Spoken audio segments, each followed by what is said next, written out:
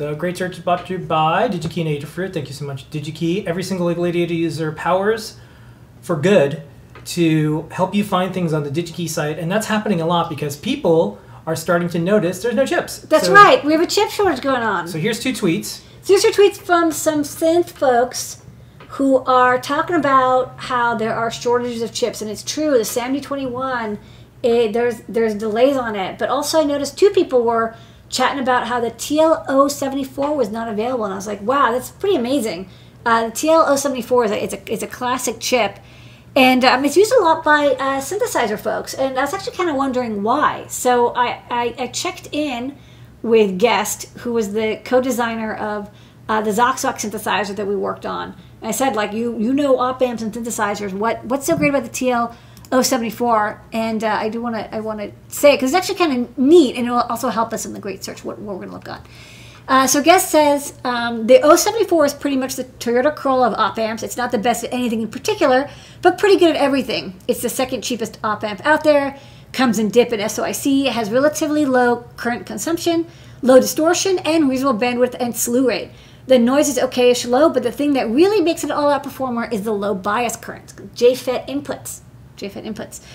Uh, it's down in the picoamp range, which means you can use it for uh, sample and holds or VCOs, VCFs that require a range of currents down to the nanoamperes.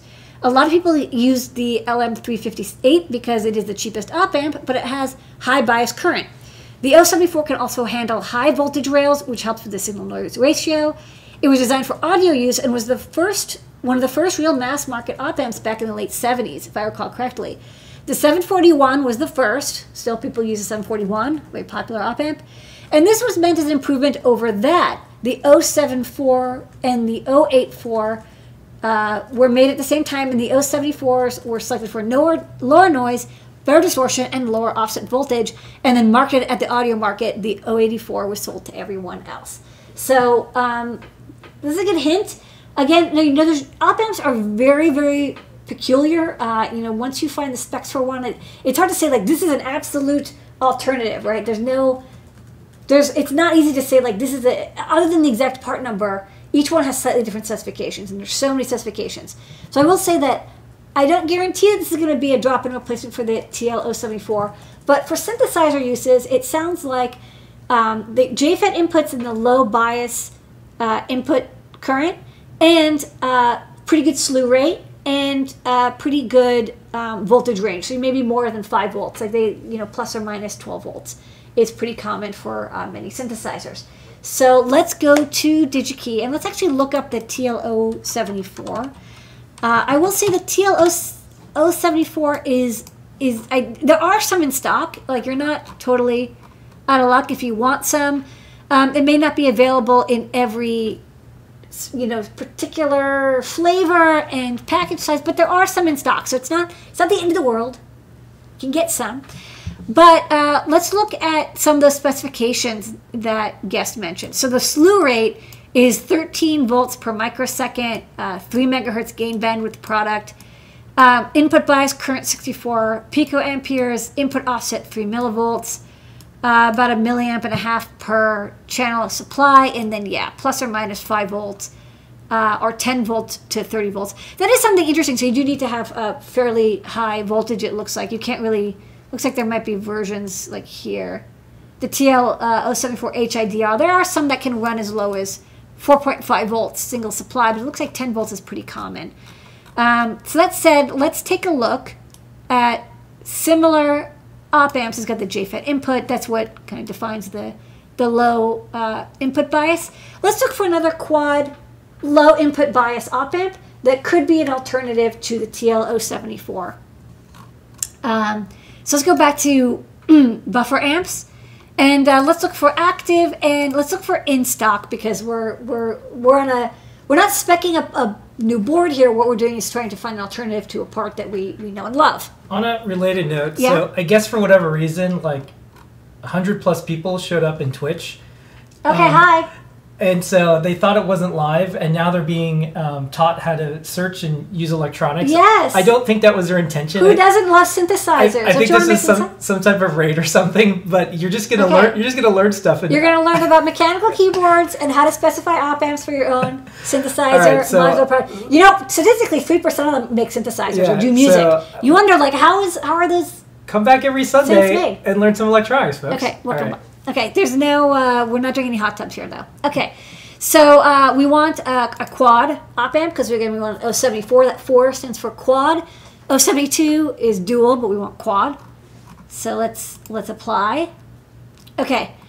Um, next up, I don't really care about the current per channel, uh, but again, I do care about the input bias. In this case, I'm going to use this uh, min max box. Whoa, hold on. Eh.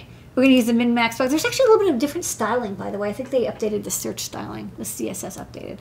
So let's look. The remember the 074 was 65 pico amperes. Let's let's put in like I don't know, like 80, right? Up to from zero to 80 uh, pico amps. Um, okay, great. So we've got a whole bunch of those, and let's look at uh, slew rate. So we want a pretty good slew rate, and some of these are like pretty slow, like you know less than a volt per microsecond. I think what was the 075? It was like 13 or something. Let's um, let's find something that's at least five. Oh, wow, five volts per millisecond. We want per microsecond. So let's do five volts or greater per microsecond. And watch out, because it looks like the milliseconds are mixed in with the microseconds. Okay, great. So looking good. Got about 400 options. Okay. Um, next, let's look at the. Uh, we want surface mount, so let's let's pick that, and that'll cut us down to 300 pieces. Okay, so what else do we want to do? So the input offset. Let me look again at what the input offset was for the TL 070. Whoops, 73. One thing that's nice, by the way, about op amps is that op amps do have almost all op amps have the exact same pinout. Like thankfully, so if you have a quad op amp that's in a 14 TSOP, it's going to be the same as every other op amp in a 14 TSOP. So you don't have to worry about like you know, it's, it's like it's like we talked about in some previous um, tutorials about you know, oh this reset actuator uses like a slightly different pinout depending on the package. It, it doesn't that doesn't apply here. Okay, so the TL74. Uh, so we're looking at the slew rate 13 volts per microsecond. Gain bandwidth product at 3 megahertz is really good. Input offset about 3 millivolts. So let's do 3 millivolts or less. This is in microvolts. So it looks like you know there's there's actually like the input offset isn't too bad. There's only like one that's like half a volt. Ridiculous. Okay. Um, so let's take a look at what's available. So one thing about the TL074 is of course it's really cheap. So let's let's sort by price. Uh, let's put in price at 1000 and sort by price. Okay. So, not surprisingly, um, the TL084 comes up first. So, you know, like Guest mentioned, if you're looking for a quick replacement for the 074, the 084 is going to be really, really, really close. It's a little bit noisier, got a little bit more distortion, but it's it's really close. So, comparing, you know, this is 084 and 074. Um, if we compare them, you know, the input bias is a little bit uh, lower on this 084. The voltage offset's the same. Um, the voltage supply is the same. You know, you can look in detail in the specs, but it's it's pretty much the same thing. So if we, well, let's say we're like, okay, you can't get 084s or 074s, like we're completely whatever. So the first chip that's not from that family. Another thing that's interesting is you notice both TI and ST both make uh, TL 0708 X's. So you you know you do have two uh, source suppliers, which is really nice. Um, but the next non-TL whatever series that's available is the um, LF347, which was like not available in TSOP, but had a pretty good specs. It has a slightly better slew rate. Um, it has a, a much better input bias, 20 picoamperes. Uh, it's got 40 milliamps output per channel, which is kind of nice.